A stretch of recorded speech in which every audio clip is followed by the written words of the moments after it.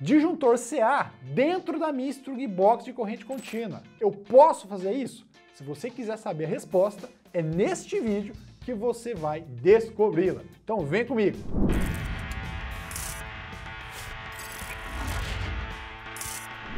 Fala meu amigo e minha amiga, tudo massa? Bom, já vou te adiantando que existe sim uma grande diferença entre um disjuntor de corrente alternada e um disjuntor de corrente contínua.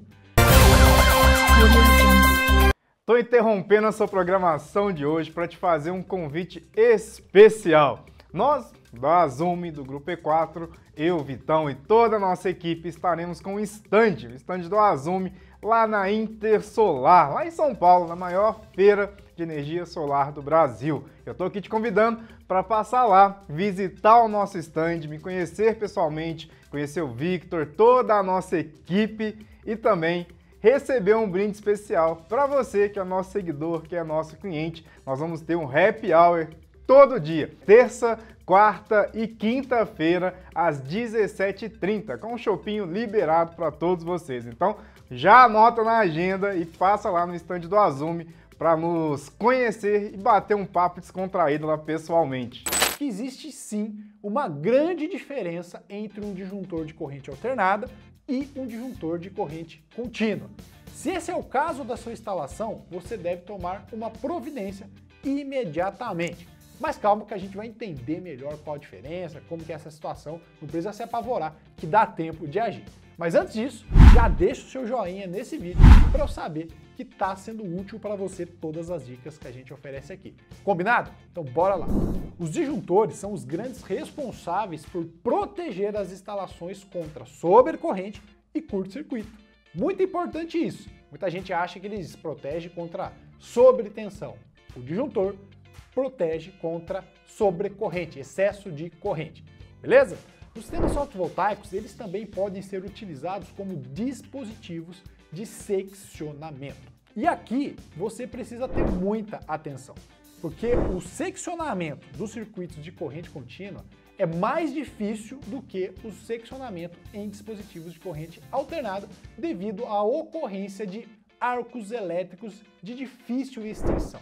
Pode ficar tranquilo que eu vou explicar o porquê que isso acontece, o que é arco elétrico, você nunca viu, é agora que você vai ficar um expert. Então vem comigo. A função do disjuntor no circuito de corrente contínua, quando ele é usado como seccionadora, é extinguir o arco elétrico, ou seja, na hora de eu seccionar o circuito, eu estou aqui no meu circuito, vou fazer esse movimento, seccionar ele, eu não posso deixar que o arco elétrico se prolifere ali, né? Vamos falar de uma maneira bem simples. E agora você pode perguntar, mas o que é esse tal do arco elétrico, Vitor? Então vou fazer um parênteses aqui para te explicar, para todo mundo ficar na mesma página.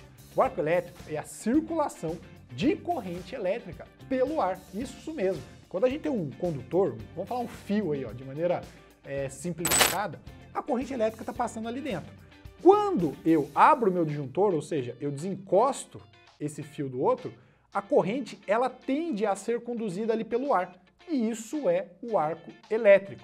Isso costuma ocorrer quando acontece uma descontinuidade de corrente no condutor devido à sua ruptura ou a manobra sobre o mesmo, provocando assim uma divisão entre os circuitos. E entre os condutores separados é possível que ocorra uma circulação de corrente elétrica através do ar. Olha só que loucura. E nesse caso, o disjuntor é exatamente um interruptor manual e automático que atua sobre os circuitos elétricos. Ao realizar uma manobra, ele provoca a separação e o isolamento de determinado circuito. Acontece que nos circuitos fotovoltaicos temos circuitos de corrente contínua e os circuitos de corrente alternada. E nesse caso, eles apresentam princípios físicos um pouquinho diferentes. Então, quando a gente está falando desse circuito, a gente precisa entender o comportamento do arco elétrico para cada tipo de circuito para responder a pergunta que não quer calar. Posso ou não posso utilizar disjuntor de corrente alternada no caso se eu estiver trabalhando com corrente contínua. Então, vem comigo para entender essa questão.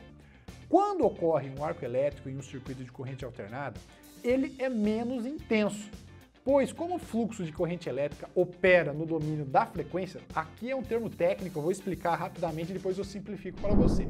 A forma de onda é senoidal, como que você pode ver no gráfico aí. E na metade de cada ciclo ocorre a inversão da polaridade da corrente elétrica que é formada.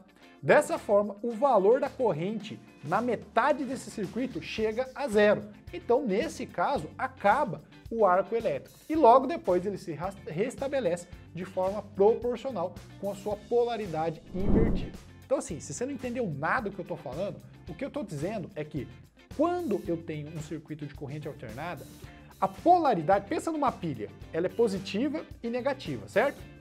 No circuito de corrente contínua, isso é fixo. No circuito de corrente alternada, isso fica trocando. É como se a pilha ficasse trocando a polaridade o tempo todo. E qual que é a velocidade que essa polaridade é trocada? Depende da frequência da rede. É por isso que aqui no Brasil a gente fala que a frequência é 60 Hz. Só que para eu trocar essa polaridade, em determinado momento, essa corrente é zero. Então isso facilita com que o arco elétrico seja eliminado. Beleza? Acompanhou? De maneira simplificada, é isso que eu acabei de dizer. Então, no caso de um circuito de corrente contínua, agora falando de corrente contínua, o valor da corrente elétrica ele é constante ao longo do tempo, porque não tem essa troca aí de polaridade, não tem essa variação de amplitude da corrente ao longo do tempo. Por isso, existe uma predisposição de ocorrer o arco elétrico de alta intensidade e de difícil extinção, como que eu já falei lá no começo do vídeo. Então, em corrente alternada, quando se trata de arco elétrico, em determinado momento, ele se apaga ao inverter a polaridade da corrente. Já na corrente contínua, o arco elétrico ele é mantido o tempo todo, já que essa corrente ela é constante. Então, na prática, um arco elétrico de corrente alternada é quase que imperceptível, porque ele ocorre em milissegundos. Já no caso da corrente contínua, o arco elétrico pode acarretar em consequências catastróficas, no caso dele não ser contido imediatamente. E nesses casos, o arco se extingue quando a distância entre os contatos for suficientemente grande. Então estou abrindo ali meu disjuntor, ó. Se eu abro de repente, é por isso que quando você vai desligar um disjuntor da rede, dependendo da tensão, eu tenho que fazer isso muito rápido. Por quê? Porque se eu faço esse movimento muito rápido de desconexão, o arco ele é pequeno, porque quando ele está grande o suficientemente para a corrente não conduzir entre o ar, ele é extinguido. Se eu vou fazendo bem devagarinho assim, ó, a energia vai passando ali e o negócio fica feio. Então ele extingue quando a distância ela é tal que essa corrente não consiga ser é, percorrida ali pelo ar, conduzida pelo ar tá bom?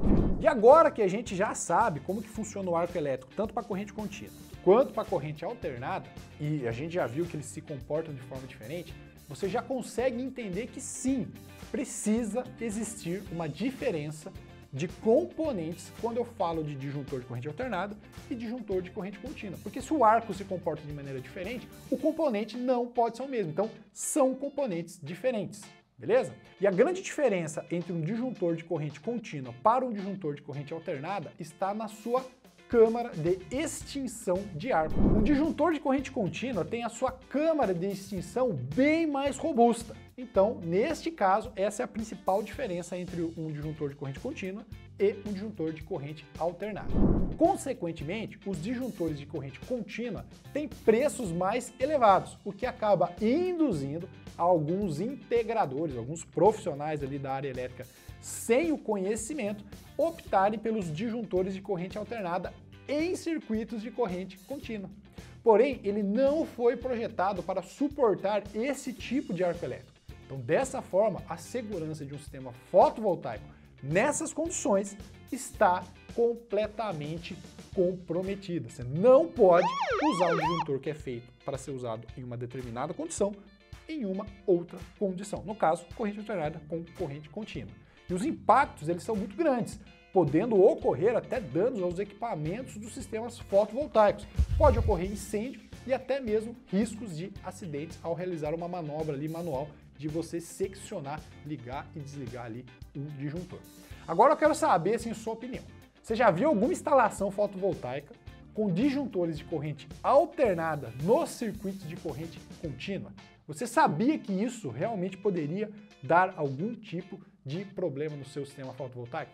Deixa aqui nos comentários que eu quero saber o que, que vocês estão vendo aí no dia a dia nas instalações fotovoltaicas.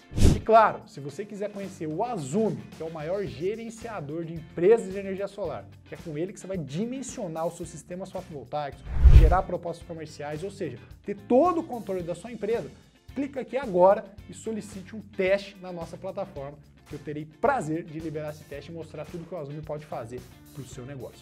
Um forte abraço, te vejo na próxima.